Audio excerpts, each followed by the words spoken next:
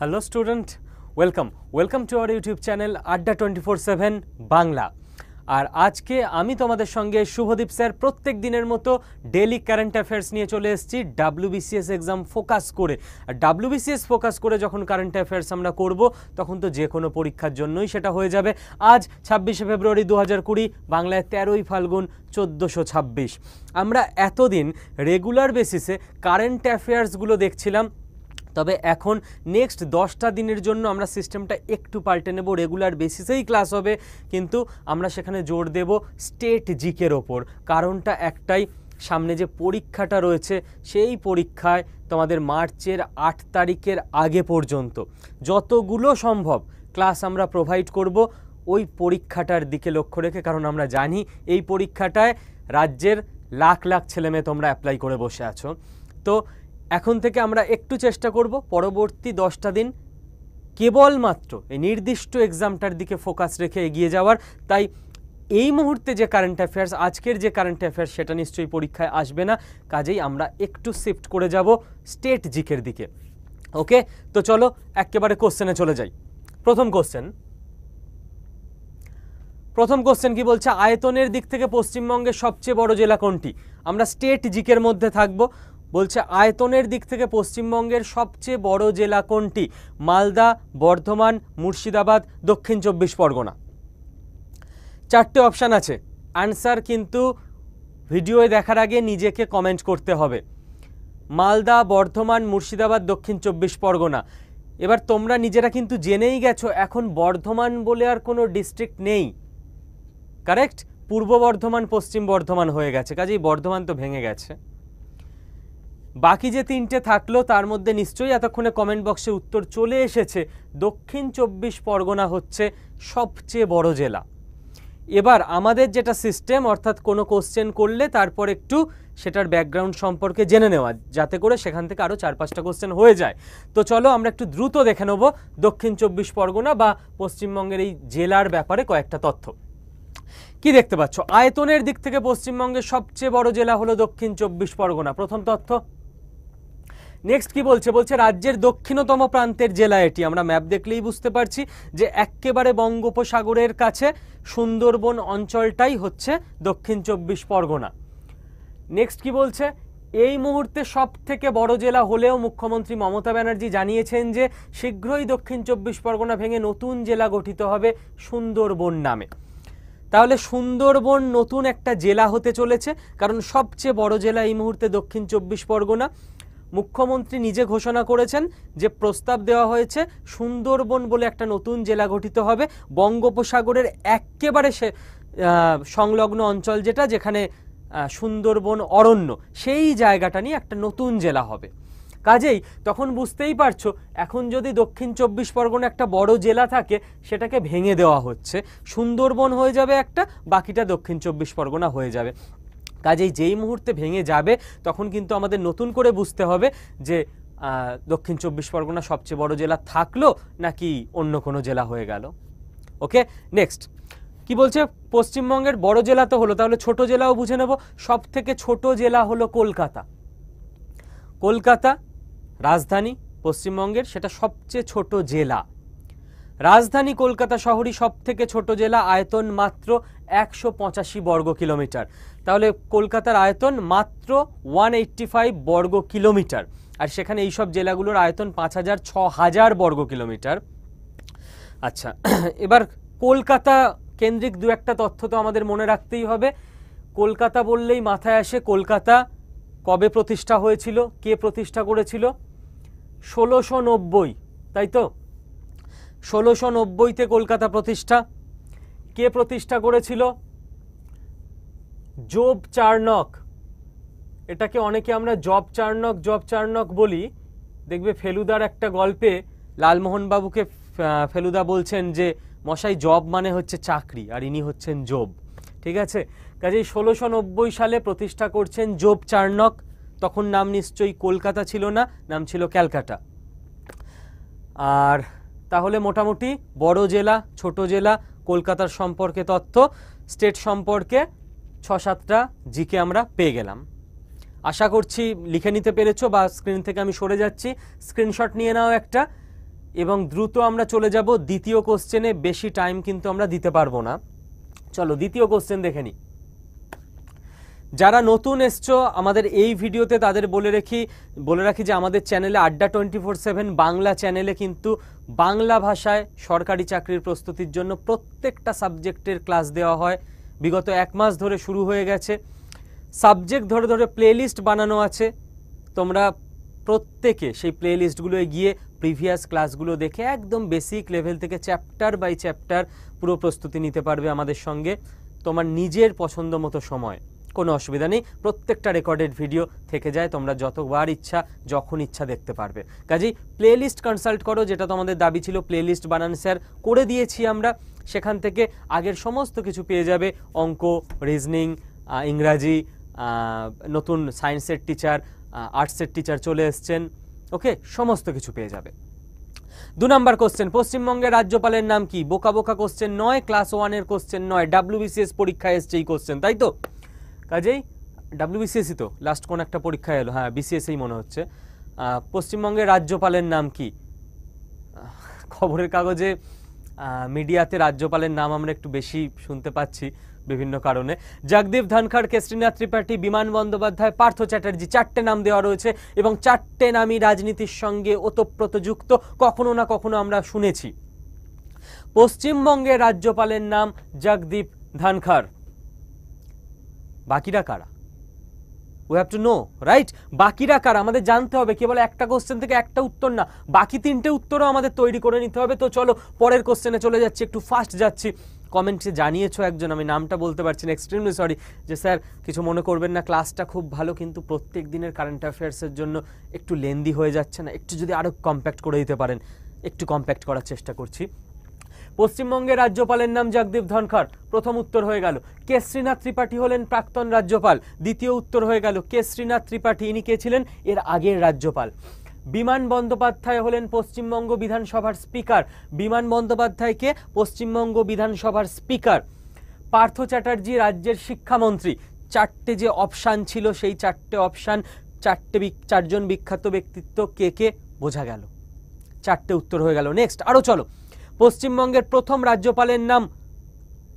যেহেতু রাজ্যপাল নিয়ে কোশ্চেন আসতেই পারে স্টেট জিকেতে প্রথম রাজ্যপাল কে ছিল? প্রথম রাজ্যপাল স্বাধীনতার পর চক্রবর্তী রাজা গোপালাচারী। চক্রবর্তী রাজা গোপালাচারী সি আর গোপালাচারী।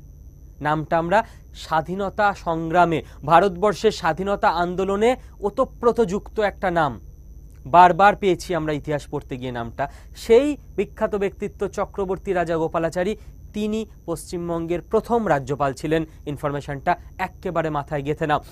যদি মনে হয় পাঁচ মিনিটের মধ্যে দশ বারোটা কোশ্চেন আনসার জেনে গেছো, কাজে লাগছে একটা লাইক ঠোকো লাইক প্লিজ এইটুকুই আমাদের প্রাপ্য, আর অন্য কিছু না। সুভাষিস স্যার তো দেখলাম লাইকের টার্গেটও দিয়েছেন। অবশ্যই ফুলফিল করতে হবে। শ্যামাপ্রসাদ মুখার্জি হলেন জনসংঘের প্রতিষ্ঠাতা। হঠাৎ করে শ্যামাপ্রসাদ মুখার্জি এবং জনসংঘের প্রতিষ্ঠাতা কেন আনলাম?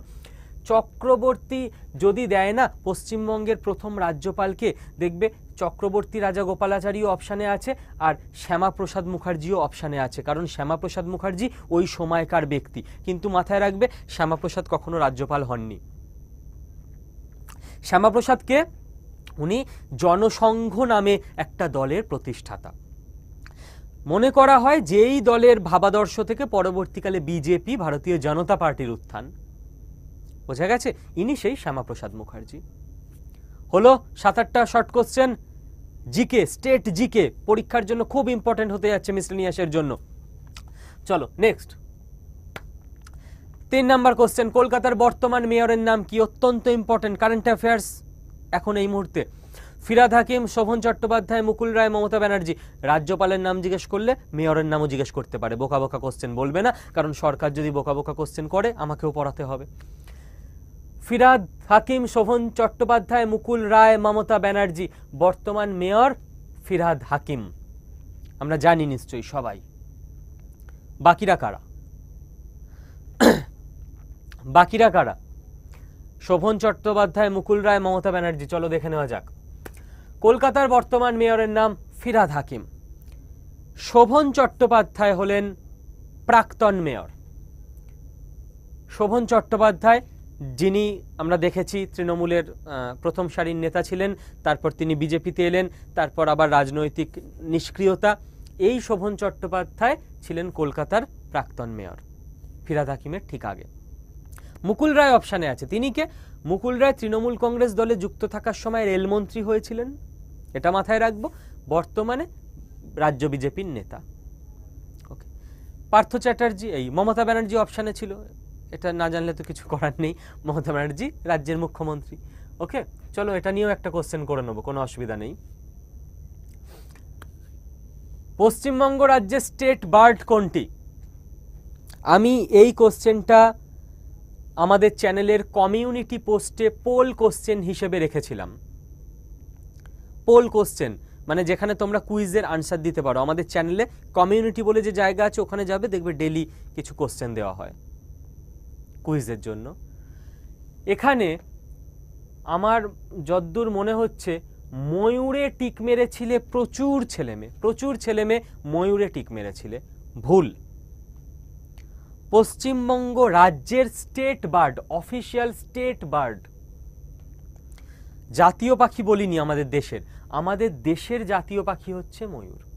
প্রতিটা রাজ্যেরও আবার অফিসিয়াল স্টেট বার্ড হয়। আমাদের রাজ্যের অফিসিয়াল স্টেট বার্ড হচ্ছে শ্বেতবক্ষ মাছরাঙা। শ্বেতবক্ষ মানে যার বুকে সাদা স্ট্রাইপ আছে, হোয়াইট ব্রেস্টেড কিংফিশার। শ্বেতবক্ষ মাছরাঙা। মাথায় ঢুকিয়ে নাও। ওকে? আচ্ছা। আর অপশান দেওয়া আছে টিয়া, পায়রা লেখা আছে শ্বেতবক্ষ মাছরাঙা, ময়ূর ভারতের জাতীয় পাখি, পায়রা হলো শান্তির প্রতীক। অপশান থেকে যতগুলো কোশ্চেন পেয়ে যাচ্ছি। আচ্ছা আরেকটু মাথায় ঢুকিয়ে নাও। আমি হয়তো একটু দ্রুত এগোচ্ছি ভিডিও কম্প্যাক্ট করার জন্য। কারোরই হাতে বেশি টাইম নেই। যত কম সময়ে বেশি শিখে নেওয়া যায়, কারও অসুবিধা হলে প্লিজ ভিডিওটা পজ করে আবার রিওয়াইন্ড করে এই কোশ্চেনটা শুনে নেবে, ঠিক বুঝে যাবে। এখানে যে ব্যাপারগুলো আমরা একটু বুঝে নেব এবার, সেটা হচ্ছে পশ্চিমবঙ্গের ওয়েস্ট বেঙ্গলের স্টেট অ্যানিম্যাল কি? আমাদের ভারতের জাতীয় পশু, সেটা রয়্যাল বেঙ্গল টাইগার ঠিক আছে। এবার কথা হচ্ছে যে পশ্চিমবঙ্গের জাতীয় প্রাণী কি? পশ্চিমবঙ্গের জাতীয় প্রাণী কিন্তু ওয়েস্ট বেঙ্গল স্টেট অ্যানিমাল মেছো বিড়াল ঠিক আছে? মেছো বিড়াল মেছো বিড়াল হচ্ছে পশ্চিমবঙ্গের জাতীয় প্রাণী। মাথায় রাখতে হবে। নেক্সট পশ্চিমবঙ্গের জাতীয় ফুল কি? মানে স্টেট অফিসিয়াল স্টেট ফ্লাওয়ার দেশের কি? পদ্ম। রাজ্যের কি? শিউলি। দুর্গাপুজোর সময় যে শিউলি ফুল ফোটে, সেই শিউলি ফুল, পশ্চিমবঙ্গের জাতীয় ফুল। ওকে? অনেকগুলো ইনফরমেশন পেলাম আমরা। নোট ডাউন করে নাও। নোট ডাউন করে নাও, একটা ডায়েরি মেনটেন করো আদারওয়াইজ সব ভুলে যাবে। ওকে? চলো, পরের কোশ্চেন এই দেখো, পেয়ে গেছি। পশ্চিমবঙ্গের মুখ্যমন্ত্রীর নাম কি? রাজ্যপালের নাম এলে মুখ্যমন্ত্রীর নামও আসতে পারে। চলো, কিছু তো কোশ্চেন থাকবে যেখানে সবাই অ্যান্সার করতে পারবে। তবু দেখবে। কেউ না কেউ থাকবে যে পারবে না। দিলীপ ঘোষ, মমতা ব্যানার্জি, জগদীপ ধনখড়, পার্থ চ্যাটার্জি। তো পশ্চিমবঙ্গের মুখ্যমন্ত্রীর নাম নিশ্চয়ই সবাই জানি আমরা, মমতা ব্যানার্জি। বাকিরা কারা? পশ্চিমবঙ্গের মুখ্যমন্ত্রীর নাম মমতা ব্যানার্জি, দিলীপ ঘোষ হলেন বিজেপি দলের পশ্চিমবঙ্গের রাজ্য সভাপতি। ইম্পর্টেন্ট নাম এই মুহূর্তে রাজ্যের পলিটিক্সে। পার্থ চ্যাটার্জি রাজ্যের শিক্ষামন্ত্রী, জানি। আর কার নাম দেওয়া ছিল? জগদীপ ধনখড় তো আমরা পেয়ে গেছি, রাজ্যপাল। ওকে যে কারণে এই কোশ্চেন এনেছি, এই কারেন্ট অ্যাফেয়ার্স থেকে আমি আসলে চলে যাব কিছু স্টেট জিকেতে, যেটা ইম্পর্টেন্ট পশ্চিমবঙ্গের প্রথম মুখ্যমন্ত্রীর নাম হলো প্রফুল্লচন্দ্র ঘোষ। ইম্পর্টেন্ট ওয়ান তিনি পনেরোই আগস্ট উনিশশো সাতচল্লিশ সাল থেকে, অর্থাৎ দেশ স্বাধীনের সময় থেকে, উনিশশো আটচল্লিশ সালের বাইশে জানুয়ারি পর্যন্ত পশ্চিমবঙ্গের মুখ্যমন্ত্রীর দায়িত্বে ছিলেন। নামটা ঢুকে গেছে মাথায় প্রফুল্ল চন্দ্র ঘোষ। ঢুকে গেলে মাথায় একটা লাইক এবং বন্ধুদের জানানোর জন্য শেয়ার করতে হবে আদারওয়াইজ কাদের জন্য ক্লাস বাঙালিদের জন্য। বাঙালি শেয়ার না করলে কারা করবে? চলো আরও যেগুলো জেনে নেব। পশ্চিমবঙ্গের দ্বিতীয় মুখ্যমন্ত্রীর নাম, খুব ইম্পর্টেন্ট নাম একটা। দ্বিতীয় chief minister Bidhan Chandra Roy.